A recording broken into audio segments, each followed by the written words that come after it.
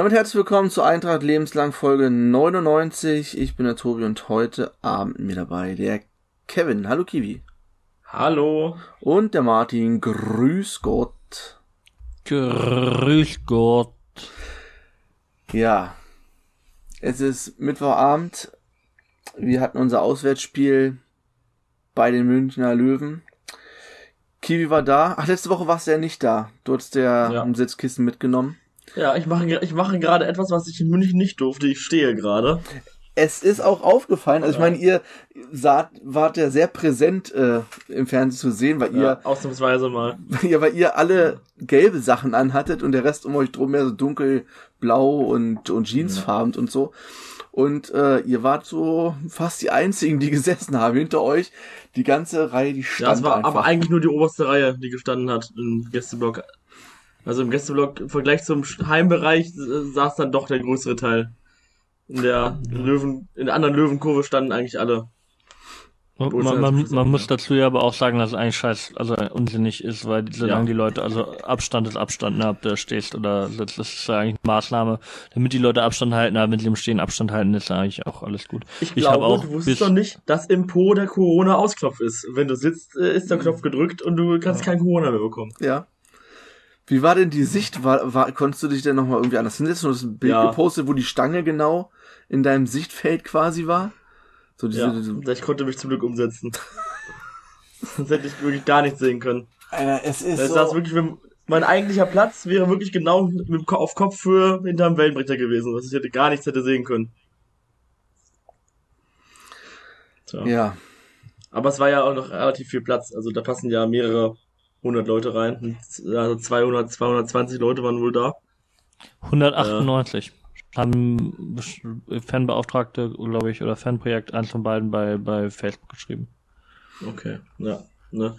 Äh, ja, also da hatte man genug Platz. Ich glaube, in den unteren Reihen saß eigentlich fast gar keiner. Äh, Martin saß da fast noch am, mit am tiefsten, ne? wo er irgendwie in der dritten Reihe, dritthöchsten Reihe saß oder sowas. Ja, ich saß neben euch, ne, auf derselben Höhe. Ja. Ach stimmt, du warst ja auf der gleichen Höhe wie wir, ne? Ja. Ja, also Ja, unter nur, uns als, saßen man, nur, als, nur man, noch zehn Leute nur oder als so. mein Sitzen, als mein Sitzkissen weggeweht wurde, da musste ich kurz, aber. Ja, das war echt, also es war, es war sehr stürmisch an dem Tag. Und das ist natürlich bei Sitzkissen ein bisschen blöd. Aber es hat nicht geregnet, das war die Hauptsache eigentlich. Ja, das wäre noch blöder gewesen. Ja. Zwischendurch schien auf die Sonne. Ne? Eigentlich war, also es war gar nicht so kalt, der Wind war halt ein bisschen frisch. Hm. Aber, ja. Sonst war ja alles wie immer wenn, Ja. beim, Spiel. Und zur Belohnung für sechs Stunden Autofahrt und äh, hin und zurück, also dann nochmal, also nochmal sechs, zwölf Stunden Autofahrt und scheiß Wetter, kriegst du dann wieder so einen Start präsentiert. Also am Ende ist ja doch alles relativ gut ausgegangen, aber nach zwei Minuten liegst du halt wieder zurück. Und wer, natürlich muss das Berli dann auch noch ein Tor machen, ja. Ja, das war ja klar. Bei so vielen Ex-Löwen musste ja auch einer treffen von denen. Oder Ex- und jetzt Löwen. Hm. Haben sie ja die letzten Spiele nicht geschafft, die Ex-Löwen. Ja. Nach und ja, Ex, die Ex, diesmal waren die Ex und jetzt Löwen äh, erfolgreich. Tja, Ja. Zum Glück haben nicht äh, alle getroffen. das ist ja übel geworden. Ja, ja, ja also ähm, wir hatten äh, Thomas war ja auch da, Verena war ja auch da. Wir hatten uns mit Martin äh, auch darüber unterhalten, zwischen während des Spiels und in der Pause, dass es eigentlich gar nicht so schlecht aussah. Aber 1860 war halt ja bei den schnellen Gegenangriffen sehr stark. Und wenn wir halt äh, einen Fehler gemacht haben, einen Ballverlust hatten, dann ist es immer ziemlich schnell gefährlich geworden. So auch beim 0, 1 zu 0. Äh, Schulz war es, glaube ich, der beim Balltritt in, in, in der Mittellinie. Da war es eigentlich gar nicht so gefährlich. Und dann war es, glaube ich, ein oder zwei Pässe. Und dann war Bär frei vom Tor und hat ihn halt auch gleich reingemacht. Kannten wir jetzt nicht unbedingt so von ihm, aber ja. gegen uns ist es wahrscheinlich einfacher zu treffen als für uns. Hm. Das sieht der der hat ja auch schon sein viertes. Saisontor gemacht, ne? Also der Ja. ist ja richtig. Spielt aber auch, glaube ich, mehr Stürmer als Außenspieler. Bei uns hat er oft mehr Außenbahn Ja. gespielt. Ähm, Ja, wir haben ihn damals als Stürmer geholt und nach außen gepackt. Und dann ist er wieder Stürmer und trifft er wieder. ja, wir hatten dann halt ja auch Hofmann und danach im Jahr ein halbes Jahr Pourier. Also, ja. ne. Die haben jetzt ja keinen Mölders mehr, also. Ne. Man muss halt gen generell sagen, Ja. äh, wir, wir haben halt von Anfang an auch schon vor dem ersten Gegentor, also auch schon in den ersten zwei Minuten, äh, sehr hoch äh, gepresst. Es war scheinbar auch der Matchplan. Dann bist du halt anfällig für Konter und für schnelle Gegenangriffe. Und äh, ja, wie gesagt, beim ersten Tor tritt Schulz halt über den Ball, war ein Stockfehler. Echt doof aussieht. Und dann spielt 68 das aber halt auch einfach perfekt zu Ende. Ähm, ja, das war für mich am, der, der entscheidende Unterschied in der ersten Halbzeit, dass die halt dieses Geschenk äh, genutzt haben und das Geschenk, was die uns gemacht haben in Form von Henning, der das freie Tor nicht trifft, äh, nicht gemacht haben. Und dann kriegen wir halt nach, am Ende noch das, das zweite Gegentor wieder durch einen schnellen Gegenangriff. Ähm, aber ja, insgesamt an, an Chancen hat es nicht gemangelt. Ne? Äh, Müller hat noch eine Chance gehabt. Lauberbach ganz am Anfang vor dem Gegentor noch, ähm, ja. dann hat noch der Freistoß von Behrendt. Äh, wir haben eigentlich gut gespielt, hoch, äh, hatten viele hohe Ballgewinne, haben auch Jussi Starten, glaube ich, gezeigt, oder die, die von Weiss Scotland dann letztendlich wahrscheinlich, ähm, die, äh, ja, eben auch gezeigt haben, dass sie eigentlich ein gutes Spiel gemacht haben oder zumindest teilweise sowas so kreativ, also irgendwie intelligente Pässe angeht, so nicht, aber haben halt äh, hoch, gut hochgepresst, haben dadurch immer wieder Chancen gehabt, gerade in der ersten Halbzeit. Und ja, am Ende, glaube ich, ist unentschieden sogar auch das fairste Ergebnis, weil in der zweiten ja. Halbzeit haben wir dann, glaube ich, weniger Chancen, aber machen halt zwei Tore. Ähm, ja, die auch gut rausgespielt ja, sind. Ja, war ein bisschen kurios, so, wie die, dass die Tore so rumgefallen sind irgendwie. Mhm. Ne, weil 68 ja. hatte in der zweiten Halbzeit ja auch Chancen. Ne, auch wenn mhm. zwei, zwei glaube ich, ab, abseits waren, zwei große Möglichkeiten, die abgepfiffen wurden. Ähm, und einmal ist er, hat er den Ball am Tor vorbei gestolpert. Ne, also beide Mannschaften haben so quasi das leere Tor nicht getroffen einmal. Äh, wobei natürlich auch nicht einfach waren, wenn du den direkt nimmst aus der schwereren Körperhaltung. Aber äh, ja, man kann sie halt auch reinmachen, ne? Also wenn das der Torhüter nicht im Tor ist, äh, musst du halt den Ball nur aufs Tor bringen, ob der drin ist. Und das ist natürlich deutlich einfacher. Und, aber mit dem Ball aufs Tor bringen hatten wir es in dem Spiel eh nicht so. Ich glaube, wir haben dreimal aufs Tor geschossen. Zweimal davon war halt drin. Und einer war der Freistoß von Behrend. Ja. Ja, Übrigens der Pass von Nicolau viel vorbeigeschossen, ne? Ja, der Pass von Nicolau war, war echt, äh, den fand ich auch sowieso. Zum 1-2, ja. Stark. Nico, Nicolau und Henning für mich für die, die besten Spieler. Ja, Nicolau auch. Auch wenn ich nicht gesehen habe, dass der Ball reingegangen ist. Also das konnte ja, ich, ich auch nicht, glaub, aber also ich habe es auch nicht äh, bei beim ersten Tor nicht erkannt. Ja. Ich muss sagen, welchen Pass ich auch geil fand, bevor ich das vergesse, war äh, von Kubilanski auf Marx, der eine gegen den Wind, den hat er irgendwie hoch, die den dann genau rein Weiß nicht, ob Kubilanski so gewollt hatte, aber das war auch nochmal ein starker Pass. Hat dann zwar nicht zu einem Tor, ich glaube, zu einer Ecke geführt letztendlich nur, aber ja, muss ja am Ende gewesen sein, weil Kubilanski zehn Minuten vor Schluss gekommen ist, aber ja. Ja, das, das hat mich generell aufgeregt, dass sie so spät gewechselt haben. Jetzt unabhängig von Kobi auch so. Eigentlich nur Ihorst halbwegs früh, sonst dann halt noch eh nur drei von fünf Wechseln genutzt. Okay, das lag dann auch an der gelb-roten Karte für Bären, dass er dann verständlicherweise Strumpf gebracht hat, um dann eben den Punkt zu sichern, hätte ich auch gemacht. Da ist dann, obwohl du zwei Punkte zu gewinnen hast, äh, und Unterzahl auswärts beim starken Gegner natürlich trotzdem richtig, dann auf den das Unentschieden zu gehen, aber ähm, sonst trotzdem, wir haben so eine aufgeladene Bank mit, da hast du echt Ihorst, Gürt, Kobilanski, äh, Penja Zauner und wen sonst noch und dann, dann nutzt das doch. Auch wenn wir gut ja. gespielt haben. Einfach mal wechseln. Wir haben noch die Spieler dafür. Das hat mich, also sonst macht Chile das ja besser als zum, seine Vorgänger, also die meisten seiner Vorgänger, zumindest vor allem als Meier, aber äh, jetzt in München hätte ich mir wieder mehr Mut beim Wechseln gewünscht. Oder zumindest ja. mehr Eile. Hat noch ein Mitfan lautstark äh, zwischen Martin und mir gefordert. Sehr ja. häufig. Ja, man war aber nicht der einzige. Kubilanski wurde auch von nee. anderen gefordert. ja. Und nicht von ja. mir. Nee, das, das sage ich auch eh nicht gemacht. Ich habe mich darüber auch aufgeregt, dass das, ja. äh, was ich auch nicht verstehe, ist, was das zweite Spiel in Folge, dass sich den Spieler exzessiv warm macht in der Pause, so schon äh, äh, Aufwärmklamotten ausgezogen hat, nur noch ein Leibchen trägt, dann, nicht, dann erst deutlich später eingewechselt wird. Also ich glaube halt nach wie vor, dass, dass das, oder ich glaube halt, das macht er für, um, um den Gegner ein bisschen zu verwirren, dass der Gegner denkt, es wird gewechselt. Kann er halt aber jetzt auch nicht jede Woche machen, weil irgendwann ist er. Sagen, oder er macht es jede Woche so und irgendwann, bam, bringt auf einmal doch Kubilanski in der Halbzeit, dann ist der Gegner. äh, ja, aber ja. Ja, aber ganz ehrlich, unter den Rahmenbedingungen ist man mit dem Unentschieden dann wahrscheinlich zufrieden, ne? Auch ja. Ta tabellarisch den Gegner halt auf so 1860 nicht rankommen lassen. Auch wenn es natürlich trotzdem war. Ja, genau, auswärts da äh, gewinnst du halt nicht einfach mal so und dann da nach 0-2 Rückstand einen Punkt mitzunehmen, am Ende noch in Unterzahl, ein paar Minuten. Ja.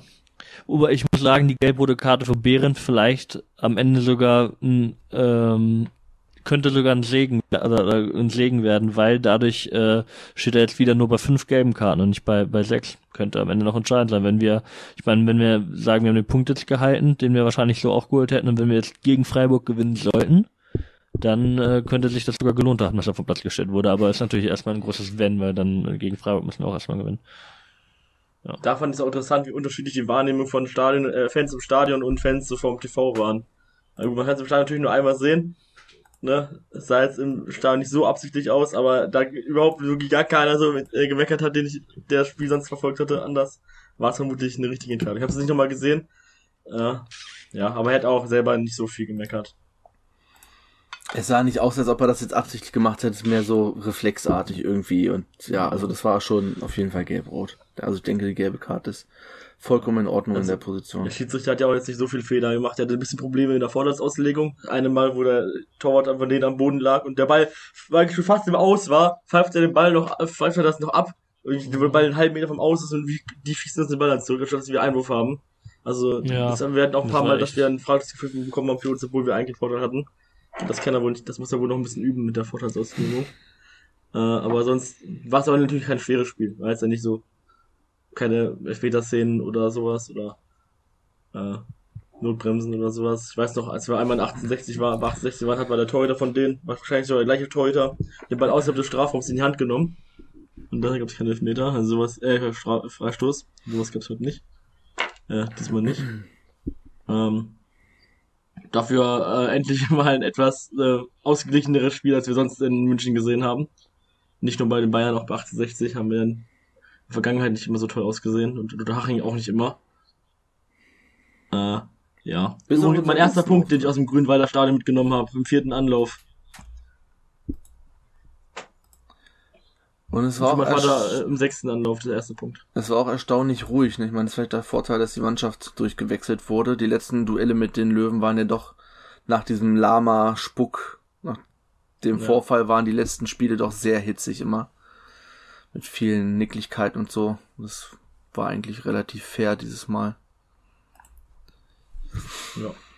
Ja, was vielleicht noch ein weiterer Wermutstropfen ist, noch nicht ganz raus. Ja, sie hat sich eine Zerrung zugezogen, sollte wohl heute wieder mhm. ins Training einsteigen. Ist natürlich die Frage, ob der bis Samstag wieder wieder fit wird. Es waren ja wirklich am Ende ja Kreisklassen-Style, dass äh, denn ein Abwehrspieler die Abstöße ausführen musste, weil ja sie nicht mehr, also auch um ihn zu lag schonen. aber auch glaube ich am Wind, ne? Also das hat bei das auch, 68 ja. in der ersten Halbzeit ja auch, also ich glaube, es lag wirklich zweimal im Wind.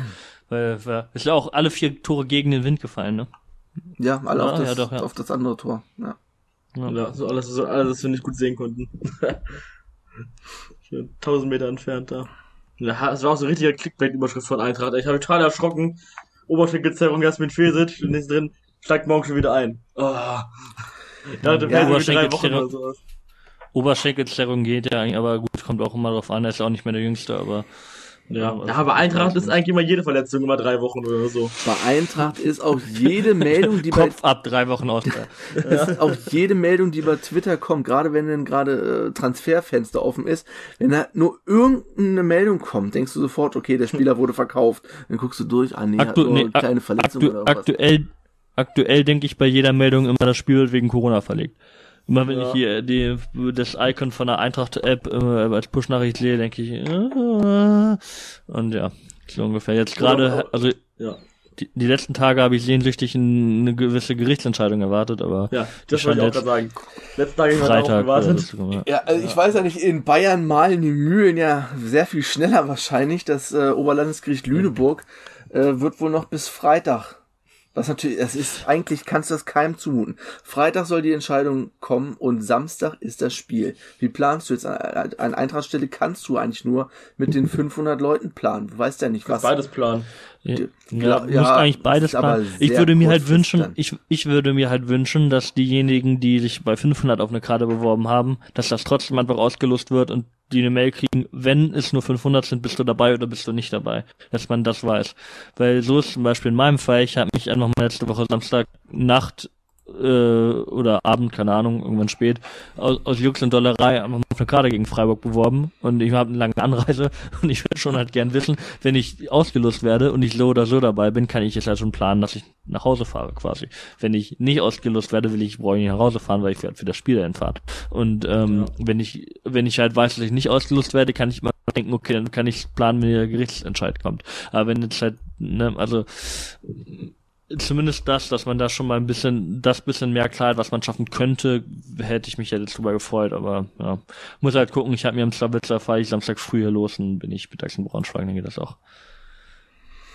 Ja. Ja, es sind auch nicht mehr vier, es sind nur noch drei Vereine. Havelse, ja, Havelse. lässt sich auch von einem Kind zum Narren halten, wo die haben die Begründung gegeben, dass es sowieso keine, also für die spielt es eigentlich keine Rolle, meinen sie, ob da nun mehr oder weniger Zuschauer kommen, weil es sowieso... Vielleicht wollen sich auch die Anwaltskosten sparen oder so und keine eben, Ahnung. Die haben eher erst ein Auswärtsspiel in Duisburg und bis dahin kann sich, bis denn zu ihrem Heimspiel kann sich das sowieso mhm. von alleine auflösen. Aber die sind ja. abgesprungen. Oder da hat sich ja, halt die Hand High Society aus Hanoi da irgendwie eingemischt und der kurze Dienstweg zu Stefan Weil oder was. Weil, ja. ja. Bei Osnabrück und uns ist ja auch nochmal besonders interessant. Weil wir gegeneinander spielen auch, ne? Ja. ja. Und Meppen hat auch wie, wie ein Heimspiel. Ähm, deswegen, ja, alles relevant. Aber ja, würde ich mich auch dafür interessieren, weil wenn wir in Osnabrück äh, auch, weil dann kann ich vielleicht gucken, also einfach Planungssicherheit, was für Spiele man vielleicht gucken kann. Tja, ja. wie gesagt, in Bayern geht das schneller, das ist jetzt auf 15.000 hoch. Also betrifft den ja in dem Fall wahrscheinlich auch nur Nürnberg und ähm, Bayern. Bayern. Ich glaube, ja. Aber. Und Augsburg, wenn es 15.000 sind. Da wird gelockert. In Hamburg wird mehr gelockert. In Schleswig-Holstein wird gelockert. In jedem Bu jedes Bundesland ja. hat, also Niedersachsen ist das äh, die striktesten. Äh, ich glaube Thüringen ja. auch nicht, oder? Hm, bin ich mir nicht sicher. Die haben keinen kein Verein in den ersten drei Ligen, deswegen habe ich es nicht mitbekommen. Ja. Aber kann sein, dass sie es auch anders äh, haben. Okay, Niedersachsen hat auf jeden Fall mit die, die Stricklisten. Und wenn man mal ins Ausland guckt, Schweiz 100% mit 3G, Dänemark keine Vorgaben mehr, Frankreich und Österreich jetzt auch äh, wieder zumindest voll, also in Österreich glaube ich mit Maske und 2G, aber trotzdem immerhin oder 2G plus oder irgendwie sowas, immerhin äh, 100% Möglichkeit. Frankreich hat auf jeden Fall auch 100% Möglichkeit. Da ist ja auch äh, immer mehr und bei uns halt äh, finde ich schon ein bisschen äh, ja gut, wir haben auch geringere Impfquoten als einige der Länder, als Dänemark halt vor allem, aber äh, ich verstehe halt trotzdem nicht bei einer Freiluftveranstaltung, dass man nicht so ein bisschen weiter lockern kann. Heißt ja nicht, dass man 100% ohne Maske und ganz normal vor der Pandemie äh, machen muss, aber ein bisschen mehr als 500 Zuschauer wäre vielleicht schon Mittelweg. Ja. ja. Auch aus, aus wirtschaftlichen Gründen und auch, also ich verstehe es halt einfach nicht. Vor allem dann heißt es jetzt irgendwie, wir sollen noch auf die äh, ungeimpften alten Menschen Rücklicht nehmen, wo ich mir denke, ja, die können sich impfen lassen, wenn die, also. Eine freie Entscheidung. Die nicht impfen zu Ja, eben. Also, ich, Konsequenzen ich, jemanden Rück, ich brauche doch nicht auf jemanden Rücksicht nehmen, der es in seiner eigenen Macht hat, äh, das zu verhindern. Also, ich nehme gern Rücksicht auf, ich nehme gern Rücksicht auf alle unter Sechsjährigen zum Beispiel. Oder alle Leute, die sich medizinisch nicht impfen lassen können. Aber, na. Oder die Leute, die geimpft sind, die trotzdem krank werden, geht halt auch. Naja. Aber, regt mich auf. Keine Ahnung. Ja. Habt ihr sonst noch was zum 60-Spiel? Der Leberkäse war ganz lecker. Also, ja, gibt aber auch bessere nicht Bayern. wenn also also dann, ne, wenn das nicht mehr gegeben ist, dass in Bayern der Leberkäse lecker ist, ja. dann es, es gibt anderswo aber auch besseren, habe ich kann ich kann nicht sagen, aber ja. Ja, das stimmt. Für ein Stadion essen natürlich trotzdem gut. Und das Stadion ist nach wie vor, es wird ja wahrscheinlich umgebaut, war vielleicht unser letztes Gastspiel im alten oder sehr gut möglich. Unser letztes Gastspiel im alten äh, Stadion an der Grünwalder Straße bei 1860 da für die Umbauphase, die ja vermutlich kommt, ich glaube, es ist noch nicht ganz sicher, ins, ins Olympiastadion ausweichen wird. Ähm, ja, immer noch ein sehr, sehr schönes Stadion. Ich hoffe, es behält etwas von seinem Charme, auch wenn es dann überdacht wird und modernisiert wird, weil das ist eines der schönsten Stadien in Deutschland. Zwei schöne Tribünen. Ne, die Heimkurve sieht auch ganz geil aus. Der Gästeblock ist halt ja. langweilig, aber nur Stufen. Aber bis auf den Gästeblock ist es ein sehr schönes Stadion.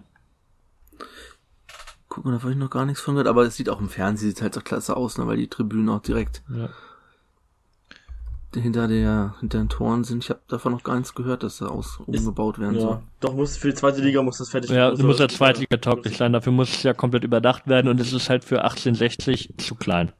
Also ich, die können es halt jetzt auch nicht krass groß ausbauen, weil es halt auch mitten in Giesing da liegt, ne? Also das ist auch mit Wirklich drumherum mitten, ist also, besetzt. Ja, Das das ist auch geil, ist geile Lage, macht das Stadion auch, äh, spricht, äh, warte, erhöht den Charme auch, aber ähm, es ist halt überdacht und ich glaube, die wollen es ein bisschen auf ungefähr 20.000 oder so zumindest ausbauen, oder 18.000 oder so, gerade sind es ja 15. Ähm, das, weil die haben ja, glaube fast den ganzen Heimbereich mit Dauerkarten eh voll, oder zumindest einen großen Teil und Ja. da kriegst du kaum Karten für 60er, wenn du keine Dauerkarte hast. Ja, wenn Und die derzeit, wenn deswegen, die ja. ins Olympiastadion umziehen, werden die da wahrscheinlich mehr Fenster, ähm, wenn es geht, als Hm. im, in der Grünwalder Straße.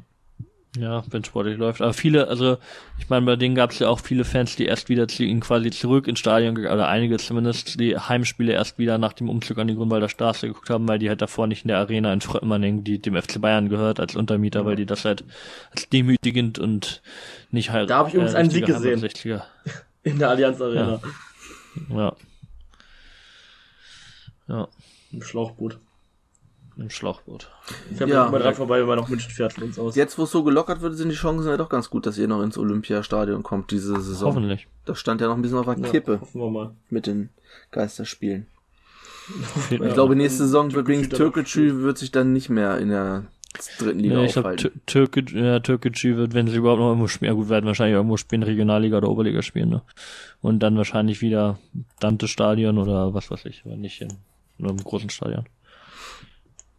Ja.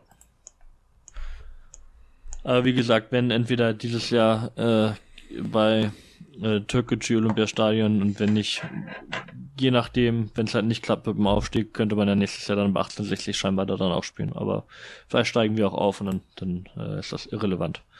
Oder wir steigen auf in 60 auch als, äh, als zweiter und drittplatzierter jeweils, aber na, das ist unwahrscheinlich.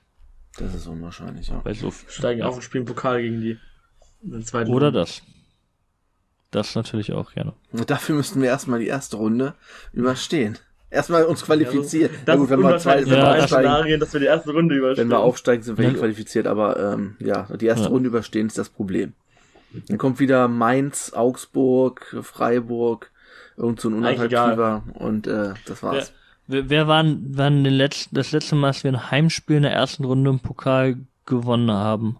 Hertha. War, war das, nee, Dortmund, oder? Nee, Her Ja, stimmt, letztes Jahr, Hertha. also, äh, Stimmt, ja, Hertha 5-4. letztes- Vor, also ja, vorletztes Jahr. stimmt. Stimmt, stimmt, stimmt. Der Corona schon fast, ja. Okay, ja, ja, gut, gut, point, point taken. Aber, Bitte nicht, ja. Also bitte nicht nochmal Hertha. Auch wenn wir da gewonnen haben. Wenn wir im, Ja. wenn wir Pokal sein sollten, möchte ich nicht nochmal gegen Hertha spielen.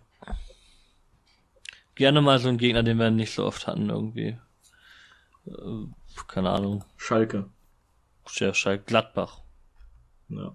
Irgendwas. Die haben wir auch in den letzten 35 Jahren nur einmal als Gegner, glaube ich, alle eine Saison quasi als Gegner gehabt. Oder halt Derby. Schalke. Derby geht- sowieso immer. Ähm, ja. Sowas Erstmal halt. Pokal qualifizieren. Erstmal, genau, Geht der, erstmal- geht der über Landespokal leider nicht mehr. Step by Step langsam rankommen. Ähm, die Fragen, die wir bekommen haben, sind eher so allgemeine Fragen. Ich würde vorschlagen, wir machen erst Freiburg und dann können wir die Fragen abhaken, abhandeln. Freiburg 2. Samstag, wann spielen wir? 13 Uhr, 14 Uhr? 14 Uhr. Es ist. Ach, ich habe die, ähm, vielleicht können wir da kurz noch, weil es ja auch die Anstoßzeit betrifft. Wir hatten ja letzte Woche schon über diese Umfrage geredet, die Eintracht rumgeschickt hatte bezüglich der, der rechte Verhandlungen und Anstoßzeiten und so weiter. Wo ich natürlich äh, angekreuzt habe, dass ich auf keinen Fall Montagsspiele und Sonntag, Sonntagabendspiele gucken würde. Und die Ultra oder die organisierte Fanszene, sowas, ne? das waren jetzt nicht nur die Ultras, äh, haben auch noch einen Brief an Wolfram Benz ähm, verfasst und da auch nochmal hingewiesen, was denn bitte Ja. bei den Rechteverhandlungen berücksichtigt werden soll. Montagsspiele abschaffen, keine Sonntagabendspiele und so weiter und so fort. Keine weitere Zerstückelung der, der Spieltage. Ich weiß nicht, der stand auch drin, das war allerdings nur ganz kurz. Ich weiß nicht, was, ähm, ob sie jetzt dafür waren oder gegen diese Exklusivspiele, wenn Länderspielpause ist. Ob die jetzt dafür glaub, oder dagegen dafür. sind. Dafür, ne? Dafür. Weil das habe ich auch, weil das macht ja total Sinn als, eigentlich. Als Kompromissvorschlag, ja. ja. Ähm, ja, klar. Ich aber wie gesagt, Ich denke halt aber, dass auch einige vom Basis, ne? Vereinsvertreter gegen Montagsspiele sind. Ja, Also, wie in Kaiserslautern und Magdeburg haben sich schon die Vereine jetzt dagegen ausgesprochen. Das sind ja auch zwei gewichtige Vereine. Okay, sind aktuell die auf den Aufstiegsplätzen, also die, die es Stand jetzt nicht betreffen würde, weil äh, zumindest für nächste Saison nicht. Ähm, aber gut, in Magdeburg wird es auch ziemlich sicher für nächste Saison nicht betreffen. Aber ähm, immerhin zwei trotzdem gewichtige Vereine mit vielen Fans und großen Namen, die sich da schon mal, äh, auch wo sich halt nicht nur die Fans sehen, sondern auch der Verein dagegen ausgesprochen hat. Ähm, bei uns kann es natürlich auch daran liegen, dass wir aktuell nur ein äh, geschäftsführendes Präsidium haben, dass man sich da vielleicht auch nicht für sowas zu weit aus dem Fenster lehnen möchte. Äh, aber trotzdem, ja. Ähm, wie gesagt, dieses, dieser Brief ist halt wirklich äh, von auch für viel von Fanclubs, auch vom Fanrat, von der Fanabteilung, also ist wirklich auf, auf sehr breiten Beinen, nicht von den Ultras oder so. Und äh, ja, kann man sich nur anschließen, wer das dann nicht gemacht hat, gerne die Befragung mitmachen und gegen Montagsspiele vor allem, aber auch gern gegen Sonntagabend äh, Termin als äh, ähm, Ausweichding äh, ankreuzen und dann halt für fangerechte Anschlusszeiten äh, am Samstag äh, und am Sonntag meinetwegen mittags auch oder Freitagabend mal, aber eben keine Spiele unter der Woche und auch nicht am Sonntagabend. Das äh, gerne. Und wenn wir übrigens auch nochmal bei sind, worauf wir noch äh, hinweisen äh, wollen gerne, ist, dass äh, wir jetzt, weil wir auch für einen Instagram-Auftritt Podcasting unterstrich in unterstrich Eintracht, äh, deren Bilder verwenden dürfen bei Braunschweig 1895 oder bs1895.de. Ähm, wo das wirklich ein sehr schönes Bildarchiv ist, was teilweise in Einzelfällen Jahrzehnte zurückgeht, äh, wo von quasi jedem Eintrachtspiel ähm, Fotos hochgeladen werden. Ähm, das äh, A, äh, erstmal hinten ein Hinweis an die, auf die Seite, dass man die gerne, äh, also da gerne mal stöbern kann. Ich glaube eh, dass die meisten die kennen. Und ähm, dazu noch, wer Bilder hat von alten, vor allem von alten Eintrachtspielen, von entweder selber oder Eltern, Großeltern, Onkel, Tante irgendwie oder bekannte Freunde, äh, die die Bilder haben, die gerade von Spielen halt von von früher, äh, die können sich da gerne mal oder so, dürfen sich da gerne wohl mal melden, dass man deren Archiv quasi komplettieren kann, dass die Bilder digitalisiert, also eingescannt werden können, äh, damit die da auch ähm, zu finden sind, um dieses Archiv vollständiger zu machen. Also die wollen, soweit ich das weiß, nicht die Bilder haben, sondern sie einfach nur quasi einscannen und dann zurückgeben. Also muss man nicht befürchten, dass man die irgendwie äh, nicht wieder sieht, sondern einfach, ja. Wenn unter in unserer Zuhörerschaft irgendwelche Leute sind, die da also äh, Bilder haben oder Leute kennen, die Bilder haben, gerne mal dahin wenden. Das ist, glaube ich, für alle Eintracht-Fans was Schönes, denn wäre es schade, wenn diese Bilder dann irgendwann in Vergessenheit geraten. Das ist ähm, beim Verein, der so eine ähm, ja, Sch Sch Geschichte hat wie, wie äh, unser Verein, einfach äh, ein weiterer Weg, um die, die zu erzählen und auf die aufmerksam zu machen. Deswegen der Aufruf, alle, die da kennen, gerne an äh, braunschweig1895.de äh, wenden. Ich glaube, die E-Mail-Adresse ist info at bs1895.de. Ähm, ja, Ich pack's Gerne. noch mal in die Show Notes, dann könnt ihr da gleich Ja. direkt draufklicken. da nochmal der Aufruf. Ja. Ihr könnt das natürlich auch über uns machen, wenn ihr das nicht über Ja, für euch fremde Leute machen wollt. Wir stellen gerne die Verbindung her. Genau. So, dann kommen wir zum Spiel Samstag gegen SC Freiburg 2 mit ähm, unserem Ex-Spieler Patrick Kammerbauer. Äh, da auch nochmal eine Empfehlung. Der war beim Thomas bei der Gegengrade zu Gast. Hat er, ich habe es noch nicht gehört, ich hatte noch keine Zeit dafür. Äh, wohl auch nochmal ein bisschen ausgepackt über die Vergangenheit hier in Braunschweig, über die drei Trainer, die ihm hier über den Weg gelaufen sind in der Zeit. Also Flütmann, Antwerpen und den sehr Meier. experimentierfreudigen Daniel Meyer.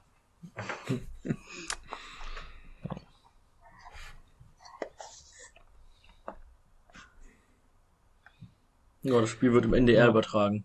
Ja, beide, stimmt, die ja. nächsten beiden Spiele werden im NDR, also beziehungsweise das, wir haben ja noch das äh, Nachholspiel in Berlin, das Ja. nicht, aber das am Aber ich mein, darauffolgenden also. Wenn ein Spiel die Saison noch im NDR laufen sollte, wahrscheinlich das in Osnabrück. Okay, Ja. gut, wir haben noch eins in Mappen, aber Äh, auch direkt, aber ich meine, beide spielen im Aufstieg, beides äh, Traditionsvereine und dann halt beide auch im NDR-Sendegebiet und wenn das auf dem Samstag ist, ne? Aber ja, gegen Freiburg 2 finde ich wieder ein bisschen überraschend, dass das kommt, aber beschwert man sich natürlich nicht für die Leute. Gerade wenn nur 500 Zuschauer zugelassen sein sollten, wäre das natürlich eigentlich, vielleicht machen sie es auch deswegen, dann wäre das natürlich sinnvoll.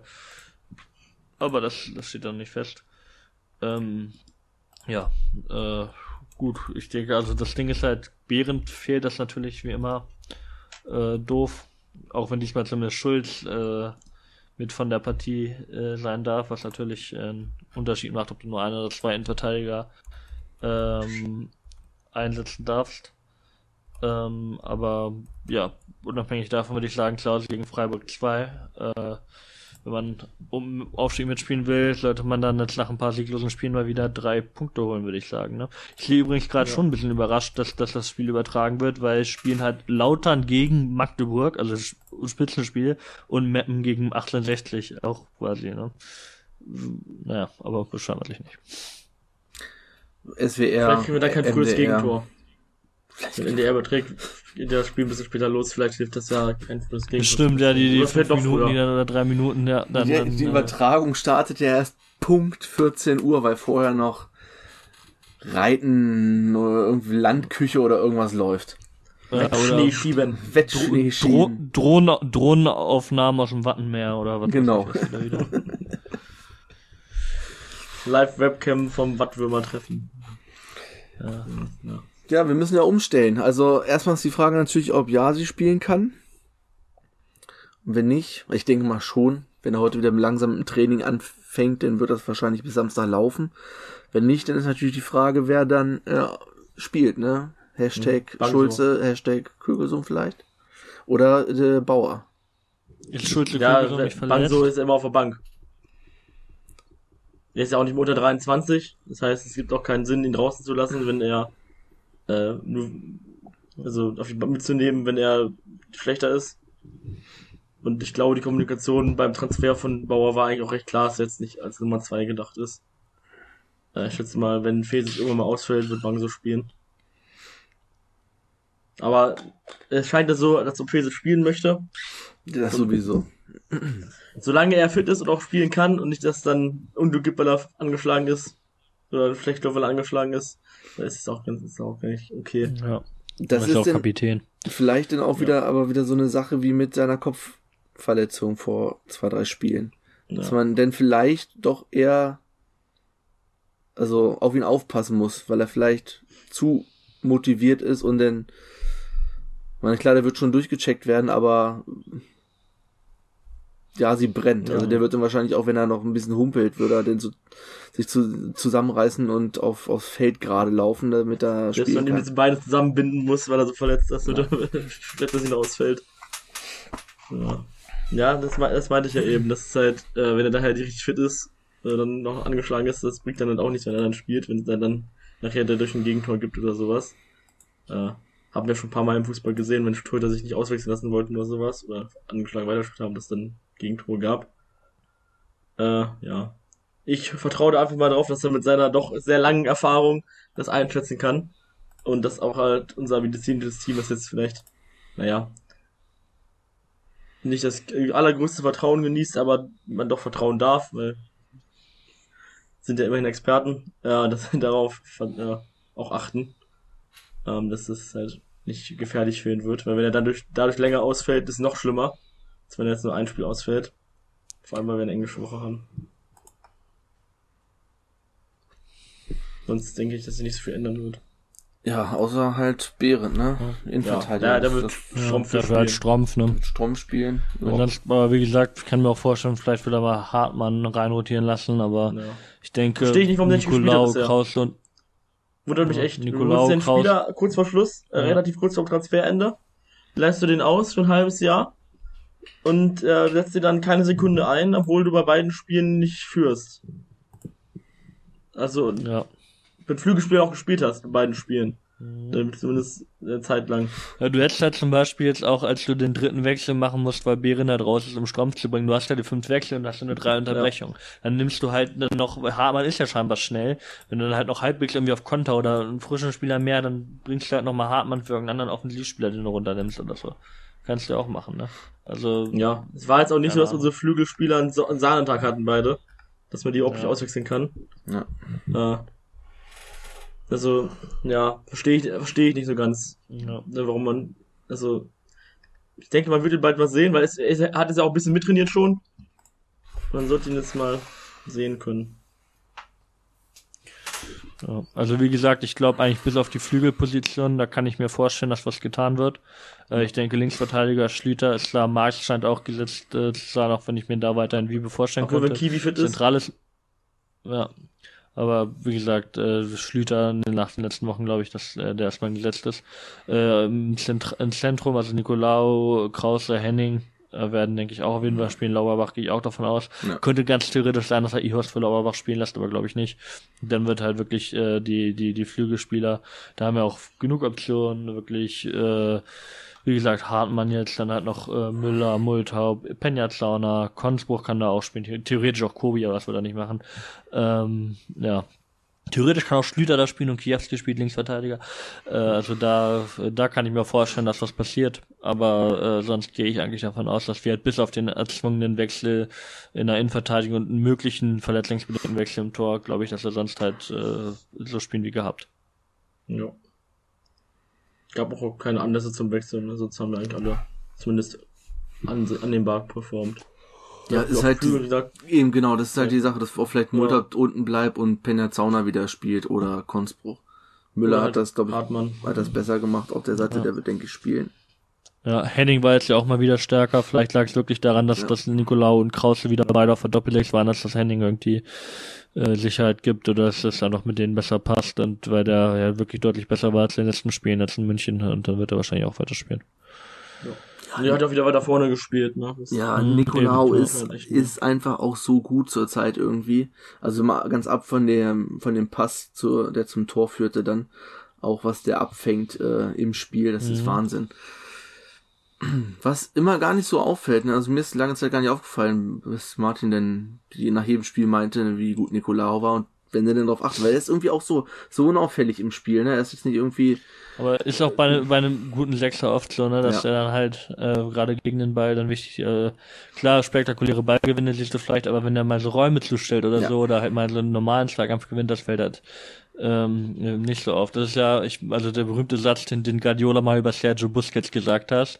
Wenn du das Spiel guckst, siehst du Busquets äh, nicht, aber wenn du äh, erst wenn du Busquets äh, dir also Busquets verfolgst, quasi genau äh, auf ihn achtest, siehst du das ganze Spiel. Äh, so. Das ist vielleicht ein bisschen übertrieben für Nicolau, weil noch ein paar äh, Spielklassen Unterschied zwischen Sergio Busquets vor zehn Jahren und Janis Nicolau, aber äh, grundsätzlich ähm, ja, wie gesagt, gerade gegen den Ball sehr gut mit dem Ball. Äh, vor allem, also immer mal wieder auch für einen guten vertikalen Pass gut, ne? Also klar hat im Spielaufbau auch jetzt äh, nicht mehr perfekt, hat auch einige Probleme manchmal, aber ähm, gerade wie solche Bälle wie jetzt halt vor dem ersten Tor in München oder auch sonst mal, dass er gern noch mal versucht, den Schnittstellenpass zu spielen und das gelingt ihm auch immer mal wieder. Das gelockt auf Torgefahr, muss man auch mal hervorheben bei ja. Janis Nikolaou. Ist auch äh, zum Spieler des Tages geworden bei unserer Wahl. Zu Recht. Zum, nee, zum zweiten Mal schon. Am siebten Spieltag war auch schon Spieler des Tages. Ja, schön wäre es wirklich, wenn wir mal nicht äh, in Rückstand geraten. Weil das ist dann wirklich wieder dieses, ich meine, bei 60, die haben sich ja nicht komplett hinten reingestellt danach. Die haben ja selber dann noch ein bisschen probiert, das Spiel zu machen und gekontert. Aber sonst, äh, Zwickau oder Ferl, dann wird's wirklich schwer, wenn am Ende der Strafraum voll ist. Dann ist das Mittel wieder die hohen Flanken, die selten ankommen. Und da wäre es schön, wenn wir ent ent entweder in Führung gehen oder es lange noch 0-0 bleibt, dass man dann auch mal ein ausgeglichenes Spiel sieht und nicht immer die ganze Zeit nur dieses Eintracht rennt gegen eine Mauer an irgendwie. Was tippt er denn gegen Freiburg? 2-0. Ich auch. Ich glaube, ich habe hier gerade bei Kicktipp 2-1 eingegeben. Oder 2-0. Ich bin mir nicht mehr ganz sicher. 2-1, glaube ich. Auf jeden Fall gewinnen wir. Hoffentlich. Und dann kommen wir doch mal zu den Fragen, die wir bekommen haben. Vielleicht die erste von Nico. Schönen Gruß. Egal wie die Saison ausgehen sollte, es wird wohl wieder mal ein Umbruch in der Mannschaft Schrägstrich dem Kader geben. Bei Aufstieg ist der Kader nicht gut genug. Bei Nichtaufstieg wird es wohl schwer, die Leistungsträger zu halten. Wie kann man als Fan trotzdem optimistisch bleiben? Weil wir einen super geilen Sportdirektor haben. Nein. ähm, ja, muss halt sagen, wie gesagt, da wo wir sind, in der dritten Liga, ist es relativ normal, dass man äh, nicht über Jahre den, denselben den Kader groß zusammenhalten kann. Ähm, ja, wo man zurück äh, optimistisch bleiben kann, ist halt, dass man äh, auch noch einige Spieler da hat, die auch da bleiben werden wahrscheinlich, die gut sind. Vielleicht auch liegen unabhängig, dass wir dann immer mal gucken, was für Angebote kommen. Wenn man aufsteigt, kann man eh immer zumindest so optimistisch sein, dass man im schlimmsten Fall ein bisschen äh, finanziell entlastet wird und dann wieder absteigt, was natürlich scheiße wäre, aber ne, ging trotzdem langfristig ein bisschen man, mehr ja. mit dem Fernsehgeld, ja, wie halt letztes Jahr quasi jetzt äh, für uns. Ähm, und ja, dass es letzten Sommer zumindest eine ordentliche Transferphase war, kann auch Optimismus machen und ja. ja, muss, also klar, Umbruch ist immer mit Ungewissheit, kann halt wirklich in beide Richtungen gehen. Kann, Umbruch kann was Gutes sein. Mit der aktuellen Führung bin ich trotz der in der abgelaufenen Saison jetzt nicht schlechten Transferphase immer nicht ganz so optimistisch, aber äh, ein bisschen Ungewissheit ist immer dabei. Klar, ich will jetzt hier auch nicht sagen, alles wird auf jeden Fall gut.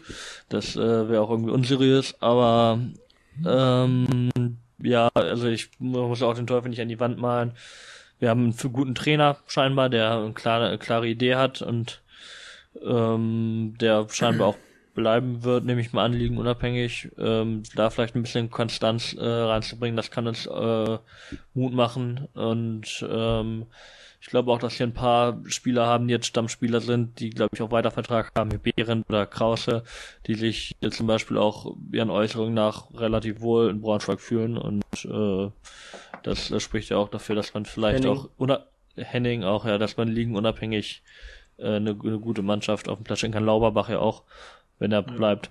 Ähm, Was ja. man für die dritte Liga natürlich sagen muss, äh, wir haben vergleichsweise ge viel Geld, vielleicht, vielleicht zu vielen anderen Vereinen.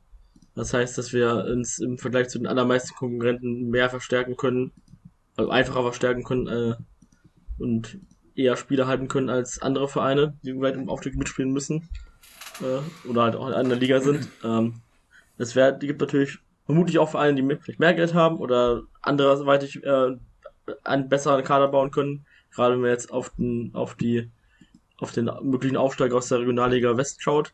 Die werden vermutlich, egal wer da aufsteigt, recht weit oben mitspielen. Äh, vor allem wenn Rot-Weiß Essen aufsteigt. Ja. Die werden wahrscheinlich gleich recht weit oben angreifen. Äh, ist ja auch nicht untypisch ja, der dritten Liga, dass irgendein Aufsteiger oben mitspielt. Ja, Münster und gut, Wuppertal ist finanziell immer so eine Sache und nach Köln und Oberhausen glaube ich auch noch dran, aber Münster wäre wahrscheinlich zumindest auch äh, von den Rahmenbedingungen auch nicht so schlecht. Ne? Aber Essen ist halt ja so ein Kandidat, die quasi wirklich jahrelang mit ihrem Potenzial spielen, also seit mindestens 15 Jahren. Und äh, der ja, das Vereins könnte halt wirklich so eine Sache sein wie mit Mannheim, Saarbrücken, Magdeburg damals, die aufgestiegen sind in der dritten Liga gleich in der oberen Tabellenhälfte Stammgast sind. Weil der einfach, ne, das, die, dieses Nadelöhr lange nicht durchgekommen. Letztes Jahr ja nur gegen zwei Punkte hinter um zwei oder was, wo die die ganze Liga, also die beiden quasi schottische Verhältnisse, die Liga äh, jedes Wochenende fast gewonnen haben und dann ähm, oder ein Zweikampf halt war um einen Aufstiegsplatz. Und äh, ja, Essen wirklich, das ist wahrscheinlich auch so ein Ding, wenn die hochgehen, haben die gute Chancen, dass das halt wirklich wird, wie die angesprochenen Vereine, gerade wie Magdeburg, Mannheim und Saarbrücken, dass die halt gleich immer, oder die meisten zumindest, äh, in der dritten Liga eher nach oben gucken als nach unten. Und wir sind dann Eintracht Braunschweig, ne? So ein, also ist, äh, ist zwar vielleicht nicht mehr so klangvoller Name wie vor einiger Zeit, aber wir haben dadurch trotzdem noch Vorteile gegenüber anderen Vereinen bei Spielereinkäufen, bei Spieler, bei Vertragsverlängerungen oder sowas. Ne? Also, ähm, wenn man einer der größeren Vereine in einer Liga ist, ähm, wenn man jetzt von den Mitgliedern absieht, äh, dann macht es halt auch schon was aus, was halt einen positiven Aspekt auf den, die Kaderzusammenstellung hat. Ähm, vielleicht werden wir auch irgendwann mal ein großer Verein in der, äh, mit, von der Mitgliederanzahl her. Äh, da gab es ja ist letztens auf in den sozialen Medien eine Tabelle rumge rumgegeistert. Äh, sieht man, wie, wie weit wir unten stehen. Ähm, wer sich im Mitgliederwesen bei Eintracht Braunschweig auskennt, weiß, woran das liegt. Nämlich daran, dass äh, sehr lange wir die mit Abstand teuerste Mitgliedschaft im, bei einem Profifußballverein hatten. Und immer noch einer der teuersten sind, wo wir das um ja, über 60 Euro reduziert haben im Jahr. Äh, wer sich leisten kann, soll bitte Mitglied werden, weil das ganz wichtig ist. Äh, gerade beim Verein, der viel Breitensport hat. Der, dass äh, auch Leute, die sich für den Profifußball interessieren, mitbestimmen können, wie der Profifußball beeinflusst wird und, naja, sagen wir mal, geleitet wird. Weil man andere Abteilungen halt immer ein bisschen einfacher von sich überzeugen kann, als die Leute, die für den Profifußball sich interessieren. Weil man, weil die halt auch billiger zufriedenzustellen sind, wenn man jetzt sagt, äh, Hockeyabteilung haben wir jetzt mal eine neue Hockeyausrüstung gestellt oder haben uns darum gekümmert. Das ist halt einfacher und günstiger. Und die sind halt einfacher davon zu überzeugen, ähm, den halt weiter so zu bestätigen, weil für die vielleicht egal ist, wie es im Profifußball geht. Äh, und weil auch häufig, gerade bei Eintracht, ich weiß nicht, wie es bei anderen Vereinen ist, äh, seitens des Vereins immer viel dafür getan wurde, dass äh, Vereinsmitglieder, die nicht der zum Profifußball gewandt sind, einfach so abstimmen, wie der Verein das will. Da wurde öfter Werbung gemacht, da gab es Rundmails, da gab es Werbeflyer. Ähm, haben wir alle schon mal, auch schon mal drüber gesprochen. Bei den meisten Profifußballvereinen ist es normal, dass die Fans, dass die Profifußballvereinsfans äh, in der absoluten Mehrzahl sind, also im hohen, äh, ja, deutlich mehr als die Mehrheit äh, halt da die Mitgliedschaft ausmachen. Ähm, wäre schön, wenn das bei Eintracht der Größe des Vereins angemessen wäre, mit den Mitgliedern. Und vielleicht werden wir ja dieses Jahr mal der größte Verein in Braunschweig. Das ist doch, wäre doch mal ein schönes Ziel für 2022. Es ist nicht mal so weiter Weg. Der MTV hat noch ein paar Mitglieder mehr. Aber deswegen nochmal der Aufruf auch von mir an alle, äh, wer äh, ja, äh, Mitglied werden will oder darüber nachdenkt, soll das machen und wer nicht darüber nachdenkt, soll man darüber nachdenken. Man kann mitentscheiden. Es sind ähm, für nicht ermäßigte äh, Mitglieder noch 10 Euro im Monat, was immer noch teurer ist als anderswo, aber deutlich billiger als zuvor und für die meisten Leute sicherlich auch erschwinglich, ermäßigt 6,70 Euro.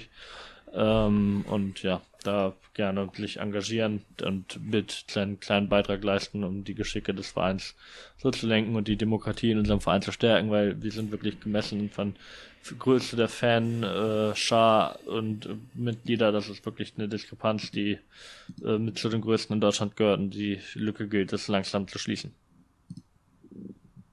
Ja, wenn man sich mal Tabellen raussucht im Vergleich zu anderen Vereinen, dann ist das schon wir sind, glaube ich, bei Aufruhr von Alemannia Aachen oder sowas. Ähm, die zwar ehemals mal ein großer Verein waren, aber mittlerweile ja doch ein recht leeres Stadion haben. Und auch andere Vereine. F, FC Freiburger FC oder sowas, ne? Also, ja, die halt Breitensport sind, aber. Baunatal. Vom, ja, Baunatal, stimmt, ja, Baunatal. Baunatal ist aber auch, wie gesagt, Kultur- und Sportverein mit, ich glaube, irgendwie. Ja, das sind denn alle. Sportabteilungen und dann nochmal 14 Kulturabteilungen. Ja, dann sind halt einfach alle Bewohner da drin so automatisch abgebucht. Was man, was man aber auch sagen muss, viele Vereine, die mehr Mitglieder haben als wir, haben halt nicht so ein auch kleinere Spartenangebot als wir. Also wir haben natürlich auch viele Mitglieder, die aktiv sind. Das ist bei anderen Vereinen halt nicht so, die haben trotzdem mehr Mitglieder als wir. Und teilweise auch deutlich mehr. Äh, ja. Ich hoffe, dass sich das in nächster Zeit ändern wird. Äh, es wird jetzt nicht so viel, super viel Werbung leider gemacht bei, für Mitgliedschaft. Ähm, ich habe, glaube ich, in den letzten Jahren, ich bin natürlich Mitglied bei Eintracht, ich natürlich keine Werbemails oder sowas. Äh, aber ich habe mehr Werbung von Mitgliedern für Mitgliedschaft bei anderen Vereinen gesehen als bei Eintracht. Ähm, ja. Wenn wer es kann, werdet bitte Mitglied. Die böse, böse Fanabteilung. Ja, böse. Du müsst auch nicht der Fanabteilung Mitglied werden. Gewollt, ja. Ne, wer ist nur am günstigsten? ähm, ja. Äh, und also ich glaube, die einzige wirkliche Mitgliederanwerbeaktion, die ich mich erinnern kann, die ist auch wirklich schon, es dürfte so ungefähr die Saison 2007, 08 mal gewesen sein, als so Broschüren auf jeder Sitzschale waren. Irgendwo irgendeinem Spiel, was gegen Ferl oder so, damals war der Cottbus 2, wo dann auch irgendwie äh, die Ansage mehr oder weniger kam, irgendwie, wir haben äh, damals irgendwie, weiß nicht, wie viel waren es, 2000 oder 3000 Mitglieder und Wolfsburg hat halt 5 oder 6000. Also ich kann nicht sagen, dass wir weniger Mitglieder noch mehr Fans als Wolfsburg, also muss auch mehr Mitglieder haben. Das äh, wurde damals im, im Stadion quasi über die Lautsprecheranlage gesagt. Und, äh, das ist jetzt aber auch schon 15 Jahre halt fast her. Und ähm, ja, deswegen gerne Mitglied werden, Demokrati Demo äh, demokratisch und sich Verein engagieren, zumindest bei dem eigentlich nur jährlichen Mitgliederversammlung jetzt aktuell halt halbjährlich geführt, aber das ist halt eigentlich nicht die Norm. Und ja. Ja, vielleicht leite ich das ganz gut über zu der Frage vom Henkeler. Wie viel Spaß macht die Eintracht momentan? Skala 1 bis 10, insbesondere weil vor einigen, insbesondere weil vor einigen Wochen die Stimmung ja generell auf einem Hoch war. Ich muss leider sagen, bei mir ist so eine 2 bis 3 zurzeit. Ich bin irgendwie, ich habe mich gegen 60 bei dem Spiel noch nicht mal aufgeregt über die Tor gegen Tore. Es war so, ich weiß nicht. Das hat auch vielleicht gar nicht so mit Eintracht im Speziellen zu tun. Das ist mehr so eine allgemeine Fußballmüdigkeit bei mir. Ich gucke gar keinen Fußball zurzeit. Also außer Eintracht, ich gucke die Eintracht-Spiele sonst gar nichts. Weder irgendwie Zusammenfassungen oder so. Ich weiß nicht. Ich habe auch wenig, ich gucke ja sonst auch viel Football. Genau dasselbe Problem. Wenig Football geguckt. Ich bin irgendwie, weiß ich nicht. Ob das so an der Stimmung gerade liegt, ob es an mir liegt, ich weiß es nicht. Deswegen ja, ist Eintracht also, gerade eher so lethargisches äh, dahin siechen irgendwie für mich. Ich freue mich eigentlich immer auf die Eintracht-Spieler, also zumindest bis nach den ersten fünf Minuten, die gespielt wurden. Aber ja, weiß ich nicht. Ich, äh, ob mir da bei mir irgendwie ein Filter fehlt oder sowas, äh, dass ich mich da trotzdem noch drauf freue. Egal wie es aussieht, habe ich auch in der Saison 2018, 19 immer auf die Spiele gefreut und da lief es ja deutlich schlechter. Ähm, ja, also ich bin, liegt vielleicht auch daran, dass, äh, dass es immer noch besser läuft als in meinen Anfangsjahren als Fan, wo wir 200 Trainer in drei Spieltagen hatten. Aber ich habe halt super Spaß daran, immer, auch wenn man es nicht so schön ist, so nachts nach Hause zu kommen, manchmal nach dem Spiel, nächsten Tag früh zur Arbeit zu müssen, aber ja, ist irgendwie schon ganz cool, so dabei zu sein. Äh, klar macht es mehr Spaß, wenn man äh, gewinnt, aber wir sind halt immer noch oben dabei. Und das Ziel vor der Saison war ja jetzt auch nicht äh, aufzusteigen. Und ist es anscheinend auch inoffiz inoffiziell, äh, inoffiziell wirklich nicht. Ähm, hoffen, hoffen wir mal, dass es wirklich so ist und dass wir nicht auf Platz 5 den Trainer entlassen. Aber ähm, meine Erwartungen an die Saison sind wir eigentlich immer noch voll im Soll, deswegen bin ich jetzt nicht so nicht irgendwie enttäuscht oder sowas, auch wenn es wäre, wenn wir eine gute Ausgangsposition hatten. Man muss aber auch sagen, dass das sich natürlich schnell ändern kann, ne? Äh, ich hatte lauter Spiel gegen Magdeburg, das kann ganz schnell wieder anders aussehen, die Tabelle. Wir haben auch noch ein Nachholspiel, genauso wie Kaiserslautern. Je nachdem, wie die Spiele ausgehen, sieht die Tabelle wieder ganz anders aus. Und äh, wenn man halt nicht aufsteigen muss, und anscheinend im Verein auch so geplant wurde, dass man nicht aufsteigen muss, dann finde ich, dass der Druck auch nicht ganz so schlimm ist wie in den Saisons, wo man wusste. Aber wenn man nicht aufsteigt, ist das vielleicht, wird das danach ungemütlicher. Zumindest geht's, geht's mir so. Deswegen gehe ich eigentlich ganz entspannt in die Spiele ran. Äh, letzte Saison war ich ein bisschen angespannt, als es im Abstiegskampf oder sowas ging. Und vor allem der Saison äh, 1920, wo wir aufgestiegen sind, war ich nach den Spielen immer völlig fertig. Das ja, geht mir jetzt eigentlich nicht so gerade. Du musst noch eine Zahl sagen von 1 bis 10. Ja, äh, 10. Mir fehlen die Ultras, ich sag's wie es ist, mir fehlen einfach, also mir fehlt auch das ins Stadion gehen und damit meine ich jetzt nicht, dass wenn 500 Leute da sind oder dreieinhalbtausend Leute im Stadion sind, das ist nicht das gleiche, das ist im Prinzip wie vorm Fernseher sitzen. Also ich möchte wirklich, gegen Dortmund war es ja mal wieder richtig voll, da hat das Spiel auch äh, das noch befeuert. Es waren richtig Emotionen drin, man konnte sich am Ende richtig freuen und trotzdem haben mir selbst da die Ultras gefehlt. Es fehlt halt einfach dieses 90 ja, Minuten Ausrasten. Ja, das ist ja auch irgendwie so ein Ausgleich für den Alltag, dass du irgendwie, wenn du die ganze Woche irgendwie was in dich reingefressen hast, im Stadion kannst du dich dann mal dich einfach abarbeiten, ja. Also klar, kannst du auch einfach joggen gehen, bitte, ja. Ähm, aber es reicht auch mal 90 Minuten im Stadion einfach abzugehen, zu singen, zu hüpfen, sich aufzuregen, zu feiern. Das ist ein verdammt guter Ausgleich. Und vielleicht fehlt mir das zurzeit einfach mehr, als ich äh, am Anfang gedacht hätte. Also mir fehlt halt auch das ähm, der Großteil des Stadionerlebnisses quasi. Ja. Also ich würde sagen, ich gebe glaube ich, so eine vier im Sinne von vier von fünf Punkten für Eintracht, im Sinne, weil wir einfach im Aufstiegsrennen mitten dabei sind und es spannend ist und so, dass fußballerisch auch okay aussieht. Da gibt es halt vier Punkte für, nicht perfekt, gerade auch abseits des Platzes sportlich, äh, wie das alles passiert, aber trotzdem besser als gedacht. Dafür eine 4 von 5 und 0 von 5 Punkten halt wegen Corona noch von den aus der anderen Hälfte, deswegen 4 von 10.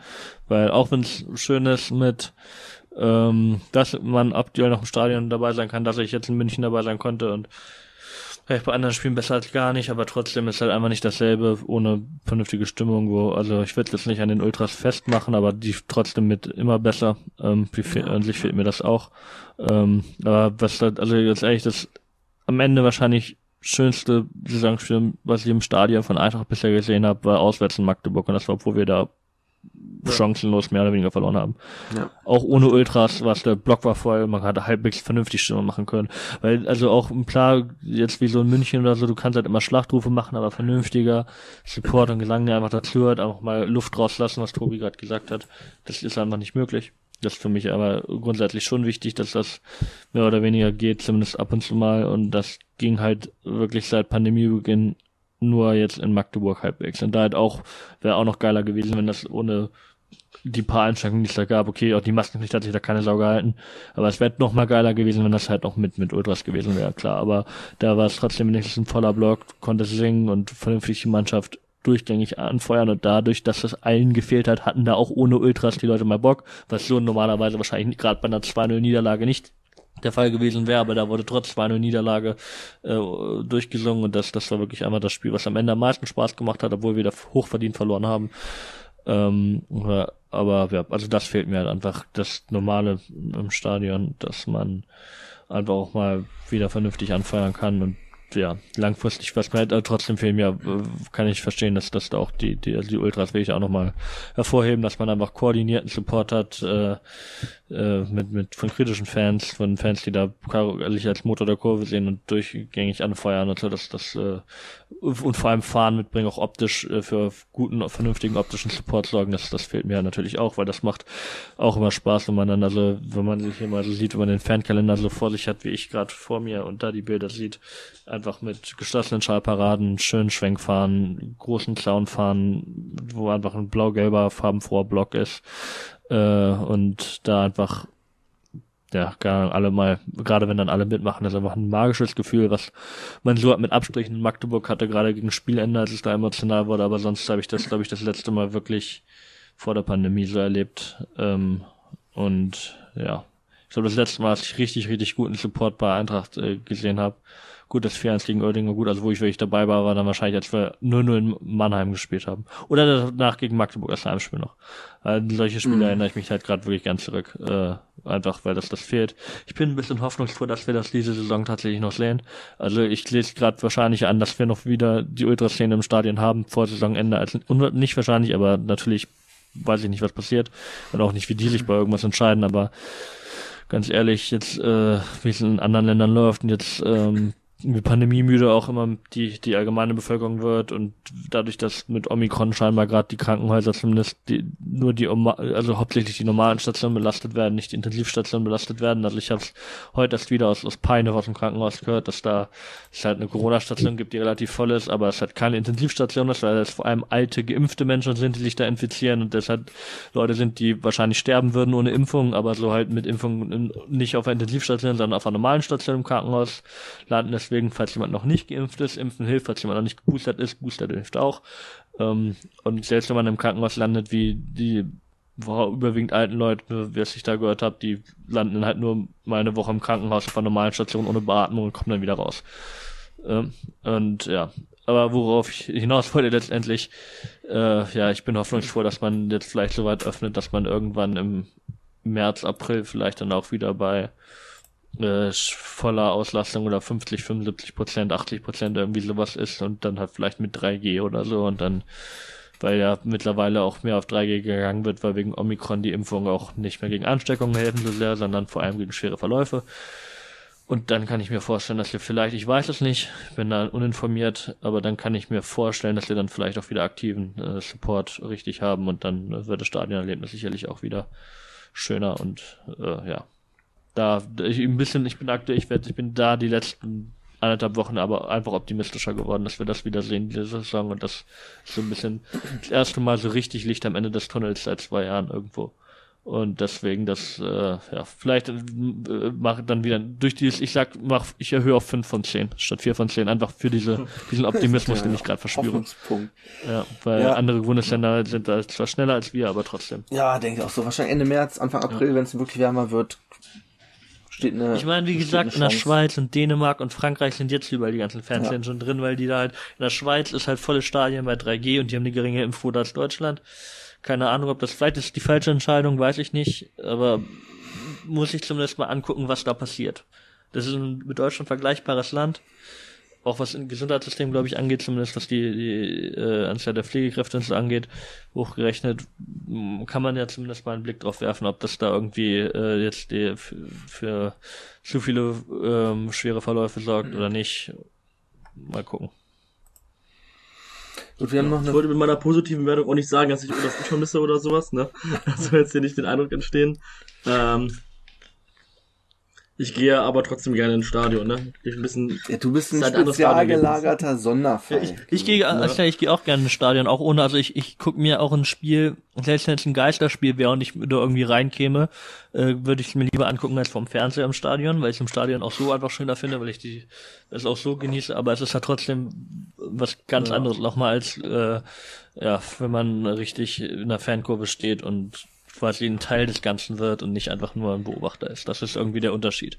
Bei so dem einen bist du halt wirklich Zuschauer und bei dem anderen bist du Fan.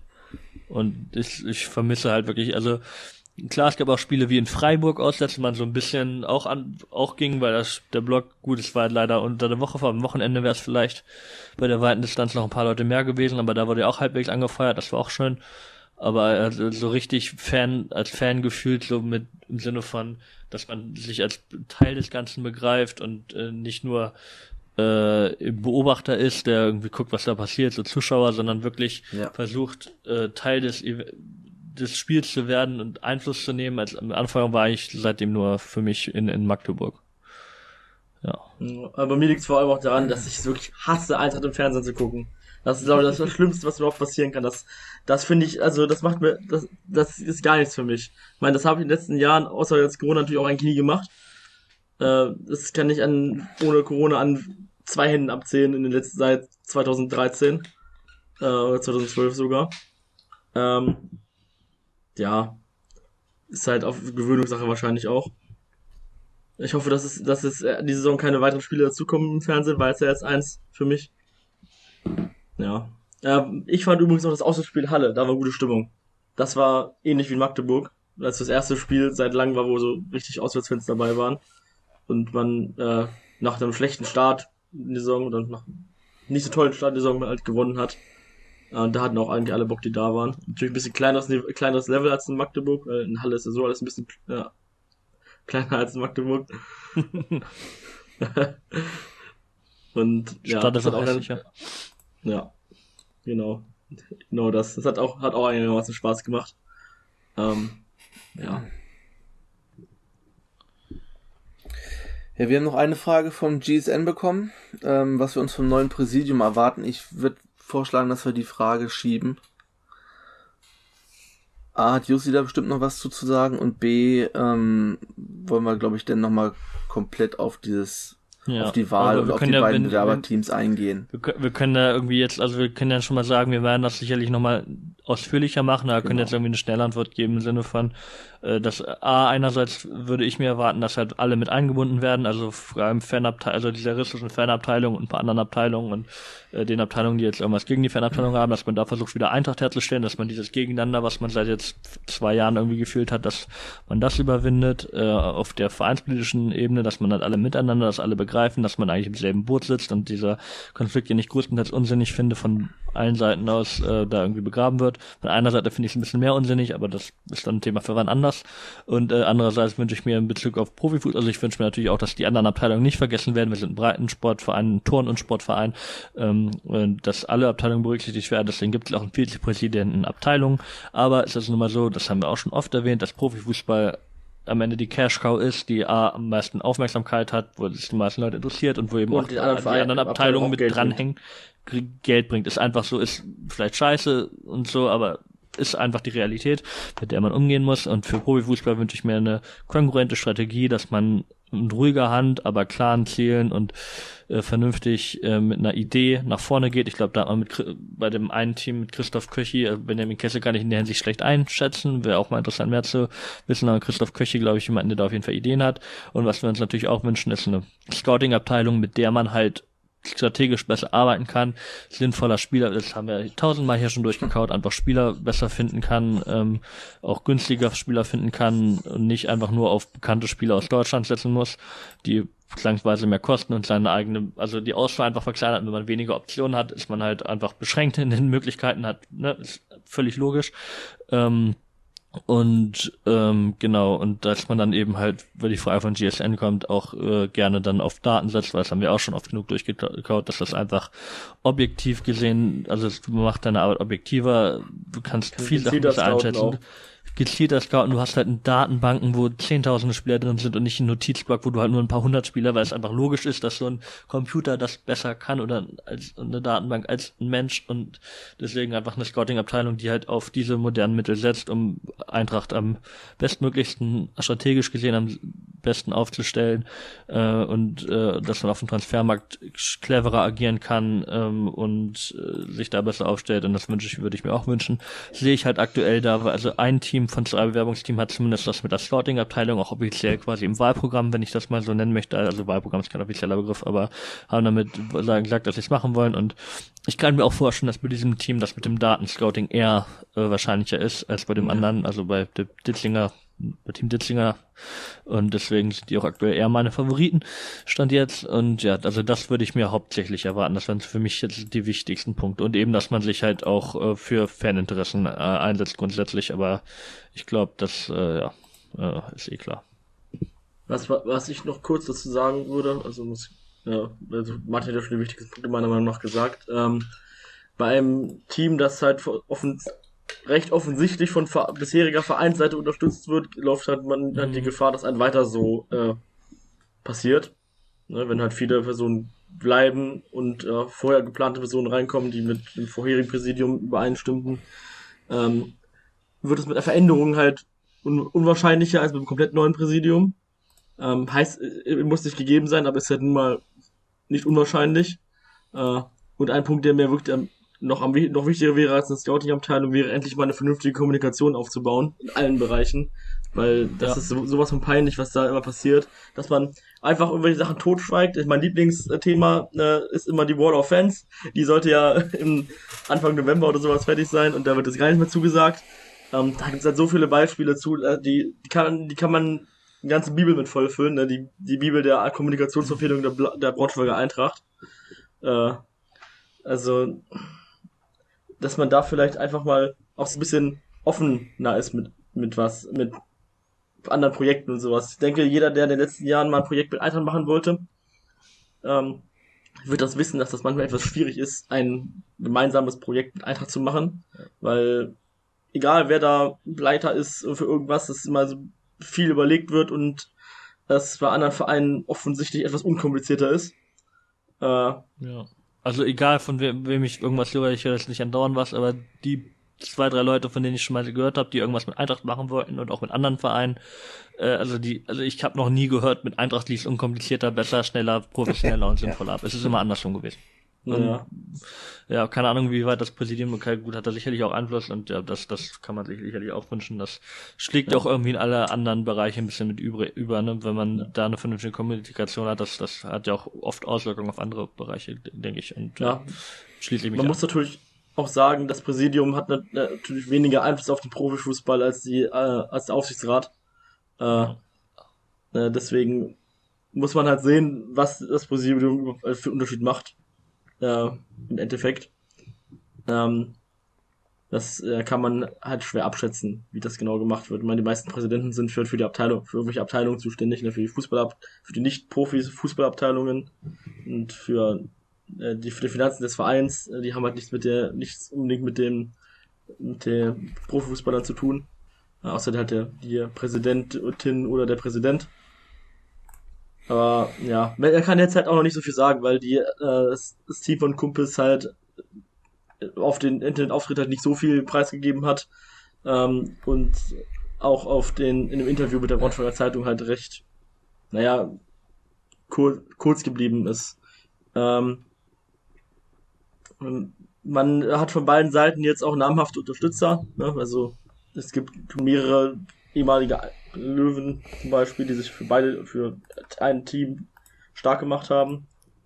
Äh, ich würde mir wünschen, dass man das so ein bisschen schöner nochmal mit, also das Team, ich weiß gar nicht, wie das Team heißt, von Axel Ditzinger, wie für Eintracht, glaube ich, ja, das andere ist Team das Roter Löwe, wobei ich, ich will auch Team Kumpels und Team Ditzinger sagen, das ist Ja. einfacher als irgendwie das, deren jetzt äh, PR-Geschwafel zu übernehmen von beiden Seiten. Weil ich finde auch, denn wie es in der Braunschweiger Zeitung irgendwie von Uwe Fritsch, glaube ich, von halt der Kumpelsseite gesagt, ja, Team Roter Löwe, weil das äh, für irgendwie, in, dass alle mitgenommen wird, steht und so. Ich mir denke, nee, irgendwie steht Roter Löwe da nicht für, da würde eher Eintracht für stehen, dass man, also was er gesagt hat, als, als Name war Eintracht eben alle zusammen mehr heißt als Roter Löwe, was nichts gegen den Namen soll. Roter Löwe ist das Symbol unserer Stadt und auch von Eintracht und äh, sehr wichtig und schön, dass man sich das zu eigen macht und damit auch ein bisschen embraced. Nichts dagegen, aber keine Ahnung, ich habe irgendwie das einfach Team Kumpels und Team Ditzinger, das ist einfach, das sind die, die Spitzenkandidaten jeweils und das ist das, worum es geht. Finde ich für meine. Ja, ja, ist auch einfacher zu merken. Ne? Ja. Keine Verwechslungsgefahr. Äh, Team Ditzinger hat das mit einem Webseitenauftritt natürlich etwas professioneller gemacht, als mit nur einer Instagram-Seite. Ist auch für alle zugänglich dann, die den Internet, das Internet bedienen können. Ähm, was vermutlich äh, bei Eintracht-Mitgliedern nicht unbedingt alle mit einschließt, aber äh, schon ein bisschen mehr als äh, nur eine Instagram-Seite. Und äh, beide auch schon immer BZ zumindest so grob angerissen, was sie so planen. Äh, ist ja noch ein bisschen Zeit hin. Bin gespannt, wie es ausgeht. Und bis dahin werden wir bestimmt noch mal was äh, genaueres sagen. Da gibt es bestimmt auch noch äh, öfter öffentliche Auftritte. Weil ist ja schon recht wichtig, dass äh, im Präsidium des schönsten Vereins äh, ne, auf der Welt äh, zu sein. Also werden wir noch einiges davon hören. Genau. Und bis dahin würde ich sagen, machen wir heute mal Feierabend. Und hören uns dann nächste Woche wieder.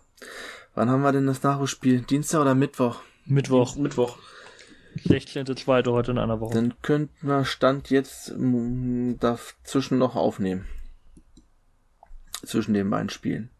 Das kann sich Freitag noch ändern, arbeitstechnisch. Aber zurzeit halte ich da noch äh, frei. Mal gucken, wie es, wie es Freitag denn aussieht. Genau. Dann würde ich sagen, hören wir uns nächste Woche wieder. Macht's gut. Adios. Tschüss. Ciao. Drei Punkte.